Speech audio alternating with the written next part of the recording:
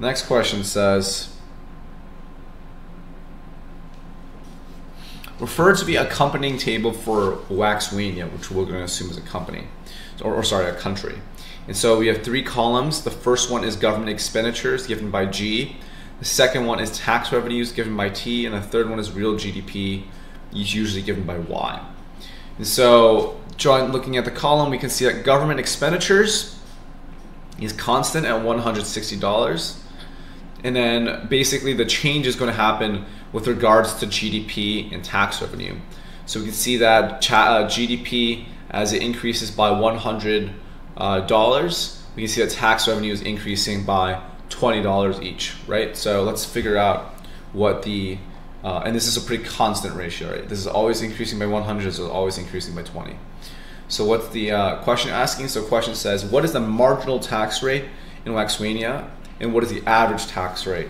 So marginal tax rate refers to uh, for every GDP, a dollar increase in GDP, how much is tax revenue increasing? For this question, it's fairly simple because it's a constant uh, rate, rate of change, right? So from 500 to $600, we can see that real GDP has increased by $100.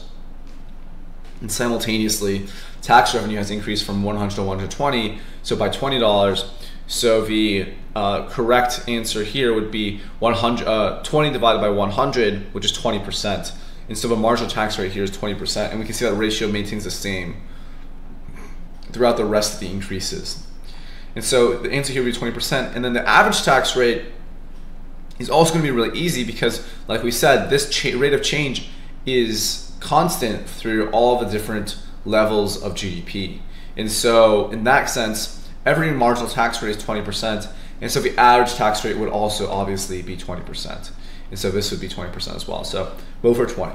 Let's take a look at the previous year's answer. So previous year said change in Y is 100, change in tax is 20. The marginal tax rate is the change in tax over the change in um, GDP. So 20, uh, 20 divided by 100 or, or uh, 20%, right? And then the average tax rate is the real GDP divided by the tax paid. So let's say 500 divided by 100, and that would still give you an average tax rate of 20%. And so that would be uh, the correct answer for both.